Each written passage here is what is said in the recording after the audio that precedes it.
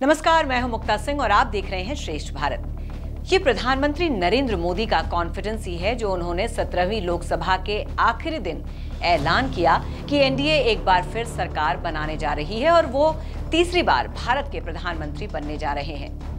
PM Narendra Modi के पास ये विश्वास उनकी खासियतों से आता है।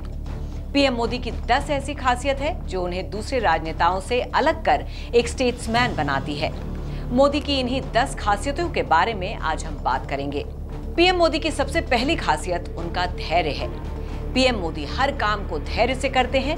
उन्हें पता है कि सही वक्त पर कदम उठाने से ही सफलता मिलती है। अति उत्साह में या परेशान होकर कोई कदम उठा लेने से नुकसान हो सकता है। और इस धैर्य की वजह से नरेंद्र मोदी न केवल देश विदेश में बैठे अपने विरोधियों को दशकों से मात देते आ रहे हैं, बल्कि दूसरी तरफ़ इसी धैर्य की वजह से मोदी गलती करने से बचते हैं और वो विरोधियों को खुद पर हावी होने का कोई मौका नहीं देते। उल्टा मोदी के धैर्य की वजह से विरोधी ही गलती कर बैठते हैं और इसका फ़ायदा पीएम मोदी को मिलता है। पीएम के धैर्य की मिसाल उरी में हुए आतंकी हमले से भी मिलती है। उरी में आतंकी हमले के बाद पीएम ने धैर्य नहीं खोया, बल्कि पूरी प्लानिंग के साथ सर्जिकल स्ट्राइक को अमली जामा पहनाया। 2020 में हुआ किसान आंदोलन और सीएए मोदी के धैर्य को दर्शाते हैं।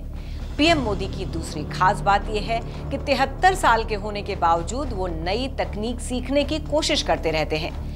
मोदी सरकार ने डिजिटल इंडिया और स्टार्टअप इंडिया जैसी पहलों की शुरुआत की, जिसने भारत में डिजिटल क्रांति ला दी। आज यूपीआई दुनिया का सबसे सुरक्षित और आसान पेमेंट सिस्टम बन गया है।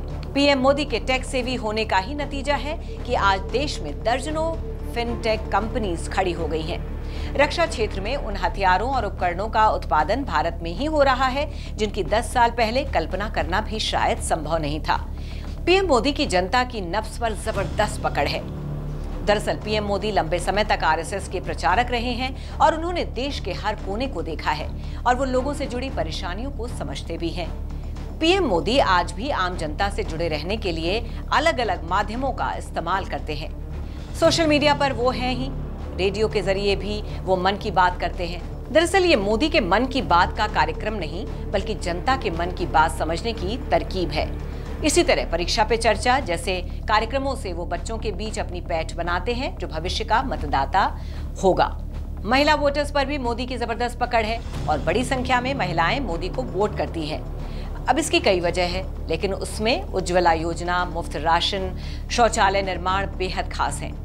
अब चौथी बात जो पीएम मोदी को खास बनाती है, वो है उनके बड़े फैसले लेने की काबिलियत। नोटबंदी सर्जिकल स्ट्राइक एयर स्ट्राइक पश्चिमी देशों के सामने नहीं झुकना, ऐसे तमाम फैसले हैं जो बाकी प्रधानमंत्री लेने में ज़रूर हिचकते। लेकिन पीएम मोदी ने बेखौफ और पूरी ज़िम्मेदारी के साथ ये फैसले लिए और देश को आगे बढ़ाया। मोदी कड़े फैसले लेने से हिचकिचाते नहीं है। अब पाकिस्तान पर हमला करना इसकी सबसे बड़ी मिसाल है। पाकिस्तान भारत में आतंकी हमले कराता और फिर न्यूक्लियर बॉम्ब होने की धमकी भी दे देता।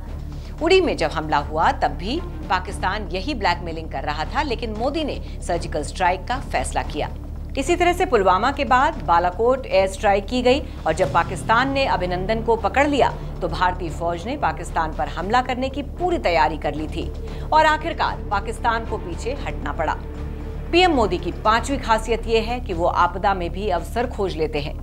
साल 2014 में जब वो पहली बार प्रधानमंत्री बने तो उन्हें विदेश नीति के बारे में कुछ पता नहीं था। लेकिन मोदी ने इसी कमज़ोरी को अपना सबसे बड़ा हथियार बनाया और आज पूरी दुनिया के लीडर्स मोदी के मुरीद हैं।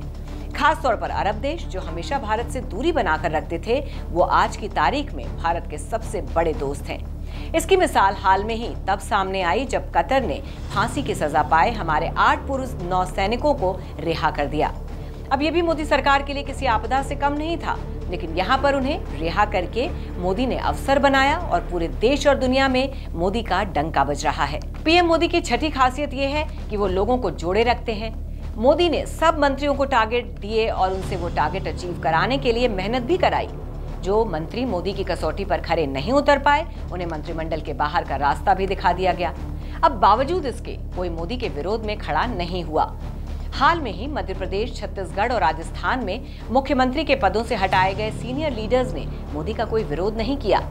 दूसरी ओर, कांग्रेस की हालत देख लें, जिसके बड़े बड़े लीडर्स दल बदल कर भाजपा में शामिल हो रहे हैं। मोदी को अपना कुनबा इकट्ठा जोड़कर रखने की कला भी आती है, जो उन्हें दूसरे नेताओं से अलग करती है। अब मोदी की सातवीं खास बात यह है कि वो दूर की सोचते हैं। बात चाहे पार्टी की हो या देश की मोदी कहते हैं कि साल 2047 तक भारत एक विकसित देश बन जाएगा। मोदी के इस दावे की तस्दीक दुनिया भर की एजेंसीज भी करती हैं, जो अर्थव्यवस्था पर निगाह रखती हैं। अपने तीसरे टर्म में वो कड़े फैसले लेने और भारत को दुनिया की तीसरी अर्थव्यवस्था बनाने की बात कह रहे हैं। पीएम मोदी ने कुर्सी संभालने के बाद जो जो बोला है, वो पूरा किया है। लिहाजा जनता का विश्वास मोदी पर बहुत ज़्यादा है और यही उन्हें एक विजनरी लीडर बनाता है। मोदी की आठवीं विशेषता ये है कि उनकी छवि एक बेदाग नेता की है, जिस पर कोई दाग नहीं लगा है। अगर इस कैटेगरी में देखें तो नवीन पटनायक को छोड़कर कोई ऐसा नेता नहीं है, जिस पर कोई न कोई दाग न लगा हो। पीएम मोदी का परिवार एक मध्यम वर्ग परिवार की तरह से जीवन काटता है।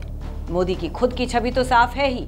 उनके परिवार के किसी भी सदस्य पर आज तक भ्रष्टाचार का कोई आरोप नहीं लगा है। वो तेरह साल तक गुजरात के मुख्यमंत्री रहे और दस साल से देश के पीएम हैं, लेकिन भ्रष्टाचार का एक भी आरोप मोदी पर नहीं लगा है। अब उनकी नौवीं खासियत उनका शासन और राजनीति का लंबा अनुभव है। मोदी को तेईस साल का प्रशासनिक अनुभव है। किसी राजनेता के लिए ये बहुत लंबा समय है। उन्होंने अपने लंबे अनुभव से ही सीखा है कि राष्ट्रवाद और हिंदुत्व के नारों से ही जनता उनके साथ नहीं जुड़ी रहेगी। उसके कल्याण के लिए ठोस प्रबंध करने होंगे।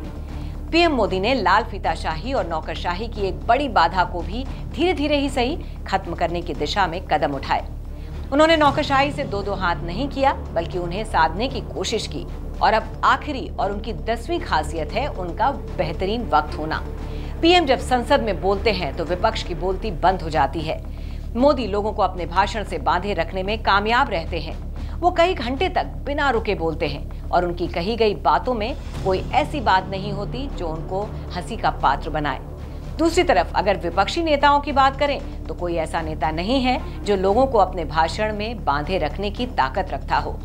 तो मोदी की ये दस खासियत ही उन्हें नरेंद्र मोदी बनाती है। आपकी इस पर क्या राय है, हमें कमेंट करके ज़रूर बताइए। तो फ़िलहाल की इस खबर में बस इतना ही, बाकी खबरों के लिए देखते रहिए श्रेष्ठ भारत। श्रेष्ठ भारत पर खबरों से जुड़े रहने के लिए चैनल को सब्सक्राइब करें। बेल आइकन दबाएँ और देखते रहें श्रेष्ठ भारत।